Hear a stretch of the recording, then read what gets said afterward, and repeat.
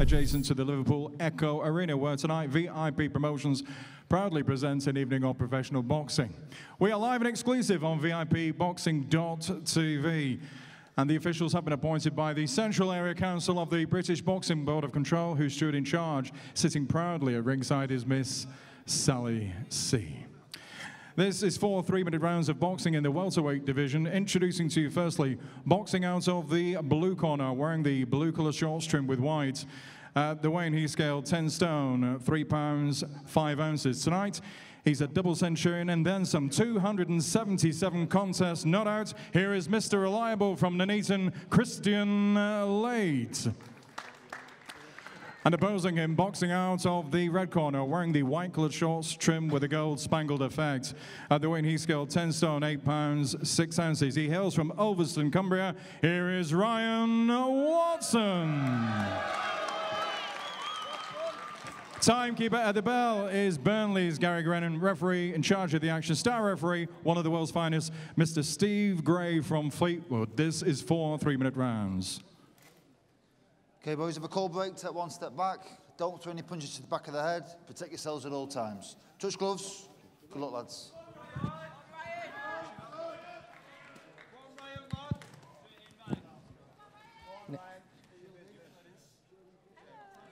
Seconds out, round one.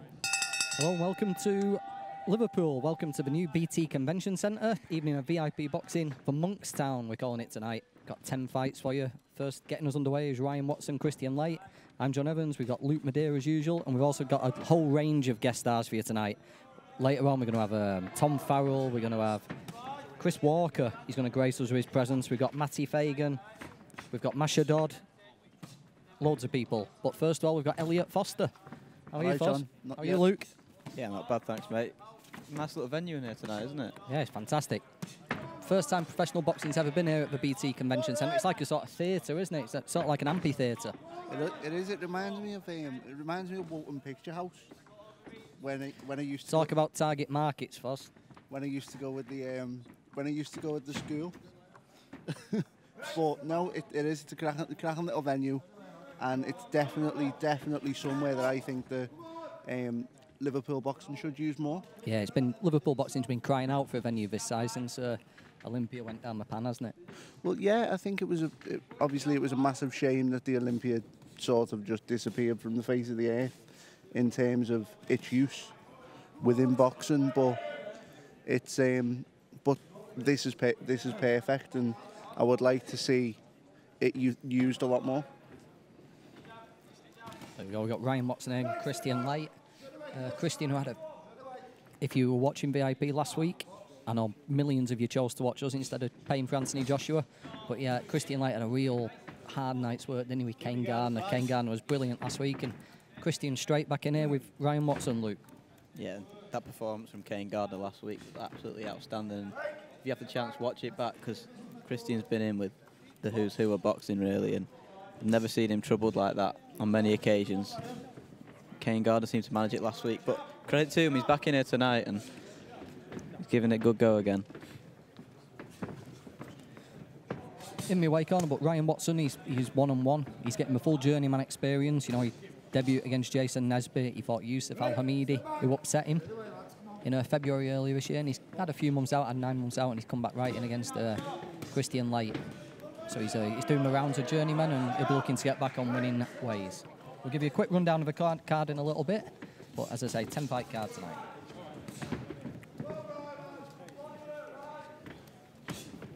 Stop boxing! Stop boxing! Time out.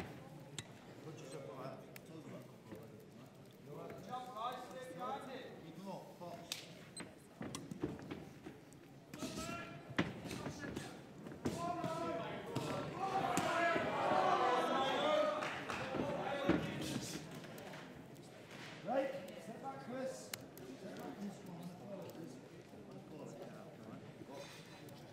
Just getting the uh, hashtag going on Twitter. Don't forget you can send in uh, questions, comments, insults, opinions, whatever you want. We'll read them out. Uh, hashtag VIP Boxing Live. Don't forget we're live on Facebook, or you can also share the link out uh, for VIPboxing.tv.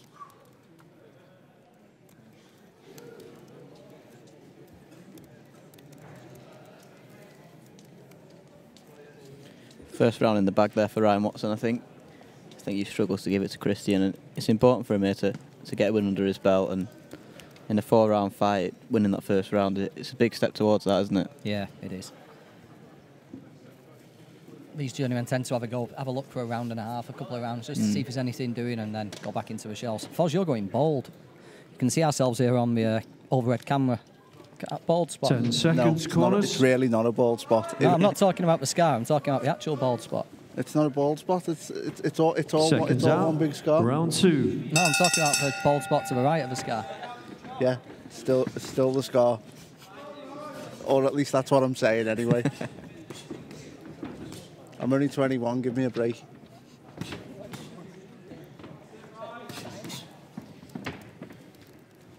You got some uh, questions to answer later, you Foz, as well about uh, stealing chicken. Right. Okay. Let me let me just lay the um. No, no, no, no. Prepare your defence. We'll talk about that later. the, there's no defence needed because we all we all know what we all know what Chris Walker's like, and um, I'll just leave it at that till later, shall I? Biggest wind-up merchant on the planet.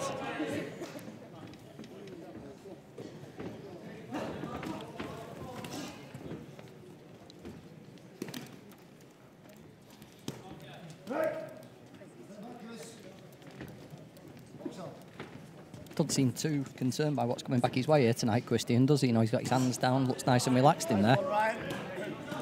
Yeah, and it's surprising considering last week, isn't it? Because you kind of expect him to be a bit more cautious, but he, he looks like he's really enjoying himself in there at the moment.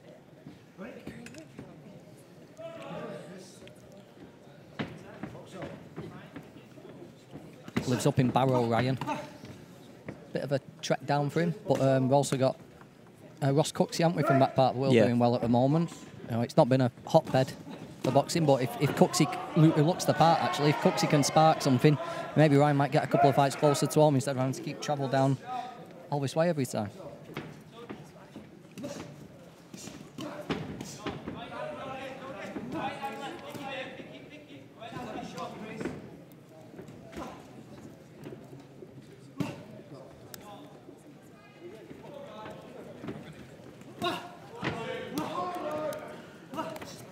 Nice build, hasn't he, for a boxer?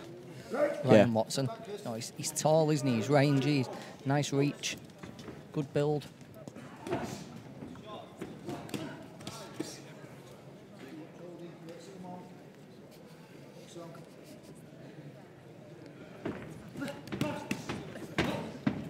Right, a body there from Watson. Laight just came back with a, a left over the top. Right, step back. So I'll give you a quick rundown of the card. Well, during this one, coming up next, we've got uh, Sean Carney. take- Sean Keynes. Sean. Kane's taking on Anwar Al Fardi. Then we've got uh, Jay Farrell. He'll be desperate to get in the ring. He had a bit of a late pull out last time. We'll talk about that later on. Jack Armfield's fighting Adam Jones, who always comes to fight. Callum Pearson against Naheem Chowdhury. Nathan Bennett, Andre Sieper. Steve Brogan against Ibra Riaz. Colin Day against Chris Adaway. Could be a good fight, that. Colin's exciting. Chris always comes to fight. Mark Jeffers against Christian Hoskin Gomez. If you've never seen Jeffers fight before, stay tuned. He's always exciting. And then we've got Central Area Champion Ryan Mulcahy. He's fighting Edvinas Puplauskas. Easy for me to say that, boss.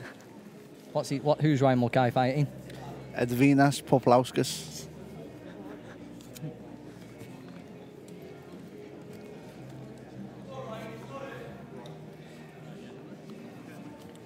We'll also give you an update later on what Foz has decided to bring to a feed for masses here during the commentary stint. You'll be disappointed.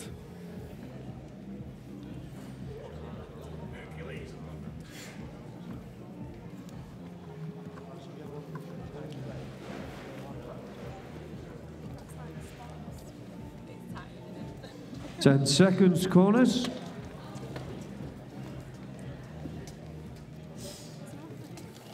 Seconds out. So Round check on the three. face, uh, Facebook. Don't forget, VIP box on the Facebook tonight. Get your comments in on the videos.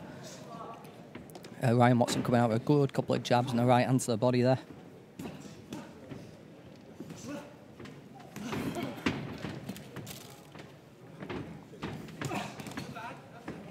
Kristian's just having a bit more of a go than last week. Or last couple of times I've seen him actually. He's letting his hands go and looking to counter a little bit more, isn't he?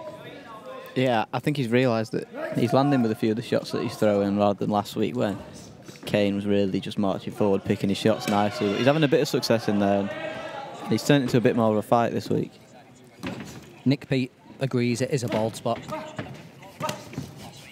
He would. Patrick McCaffrey's asking what time will Kai's on. We're expecting Ryan some it'd be sometime around 10 10:30, 10:45 depending on stoppages. Patrick, stay tuned.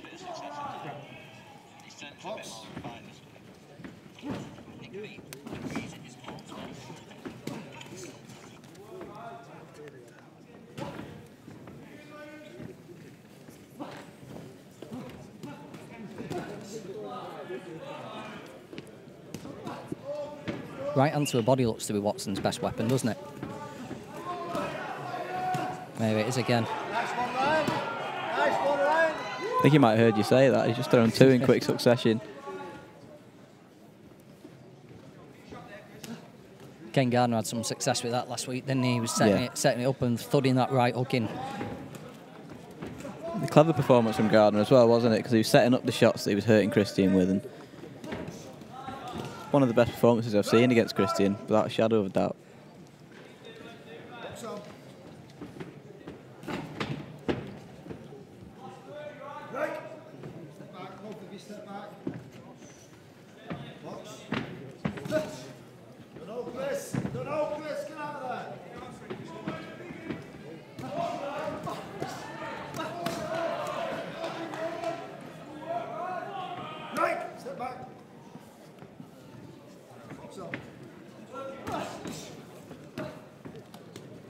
The holding, Chris.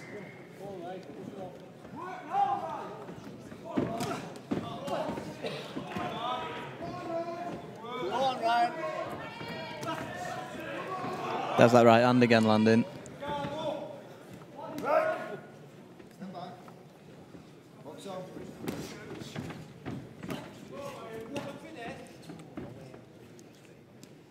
Oh, Chris, come on, you can work in that. Put him at the outside. So hold, Chris.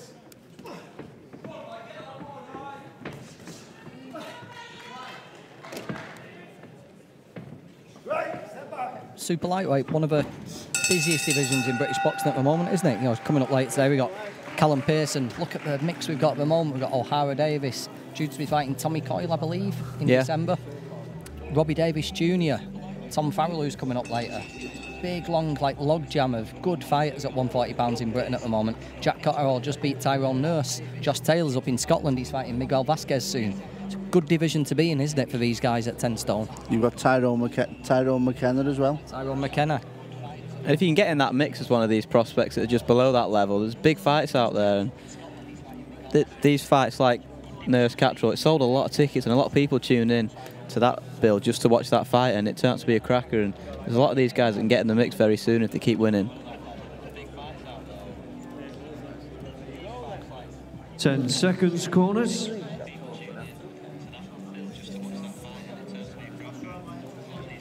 Seconds out for the fourth and final round.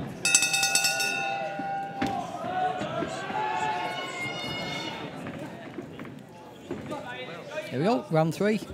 So far, I think Watson's probably having the best. Round four, sorry. Pro- Watson's probably just having the best of it. He's just forcing Kristian back, isn't he? There's not been many clean shots landed from both, but I think that right hand to a body, there it is again. It's probably just worked for Watson, hasn't it? Yeah, he's just edging the fight for me, I think. And unless something dramatic happens here, he can close this out and get back to winning ways.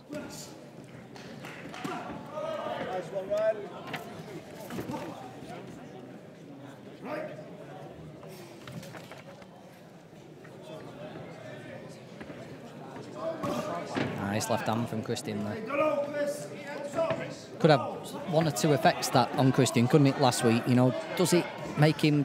It looks like he's decided to fight a bit more actually this Yeah. week, doesn't it? Maybe a board got onto him and just told him to have an improved performance or something like that. Or uh, does it send you back into a shell? Look, and like I say, it looks like Kristian's just decided to come out of his shell a little bit more. Yeah, for the first time, I think it looked as if the fights had started to catch up with him when he was in with Gardner, but he's proved tonight that that's not the case, and, and he can still put up a good fight and test these young prospects.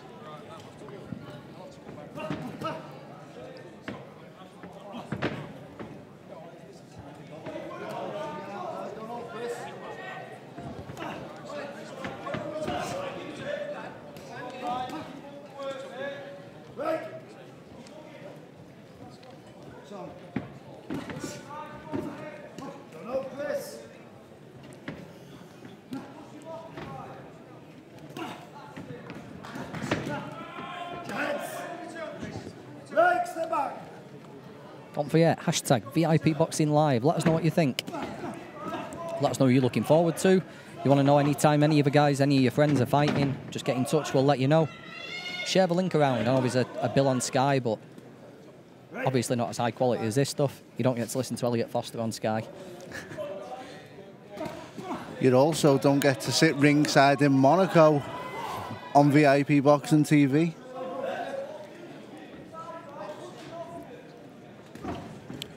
By the way, I believe Jamie McDonald's just been stopped. On, stopped. No spoilers, Foz. People record it. Sorry, sorry. Nice little jab to the stomach. He's, Watson's work to her body's been uh, what's just separated him from Laight here for me.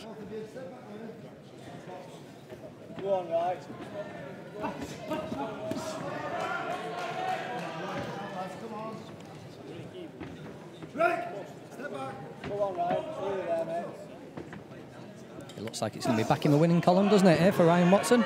That's a two and one. That upset defeat last time out. Looks like he's just put that right, and he should be well on the way there to a, another comfortable points decision. And with that, we're Yeah. the. Job done. First up for Ryan Watson. He'll be happy with that, I think, as well.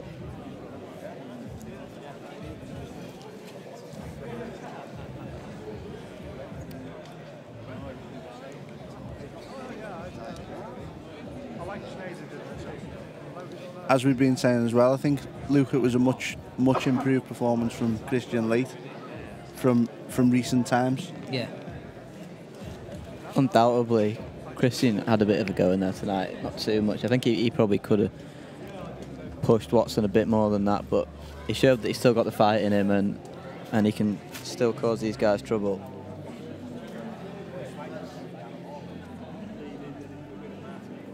Over Steve Gray, over to Michael Pass for the official score. Ladies and gentlemen, after four absorbing rounds of boxing, star referee Steve Gray. Can we turn the music off, please?